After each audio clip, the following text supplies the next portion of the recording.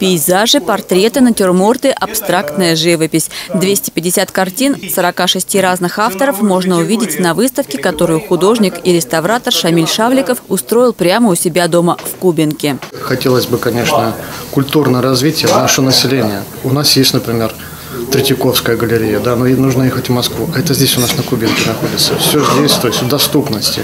Здесь есть такие картины, а, ты смотришь в нее, и ты утопаешь. На выставке есть и работы хозяина дома. Шамиль Тагирович пишет картины в разных стилях – реализм, импрессионизм, кубизм. При этом уверен, что творчество должно приносить пользу, например, задействовать воображение зрителя. Поэтому в его работах много символического экспрессионизма. Бог дает, я просто почтальон.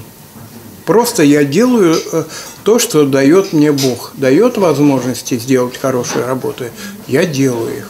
Не дает силы, возможностей, я не могу этого сделать. В этот раз на выставку пригласили молодых пилотов авиационных групп «Русские витязи» и «Стрижи». Специально для них провели экскурсию, а затем разыграли одну из картин Николая Удальцова, которого не стало в этом году. Его работы отличаются особым стилем, и на каждой очень много солнечного света. Полотно под названием «Ключи к небу» досталось старшему лейтенанту Дмитрию Денисову. Мне очень понравилась э, выставка и была очень приятная неожиданность, то, что эта выставка существует в нашем городе э, Кубинка. И очень радует то, что существуют такие люди, э, которые показывают молодежи искусство. Дмитрий мечтал стать пилотом с детства. Сейчас летает уже 7 лет. С 2017 года проходит службу в Кубинке. Признается, что любит размышлять и над искусством, посещать картинные галереи, музеи, выставки. Больше всего ему нравятся полотна Айвазовского и все, что связано с морем.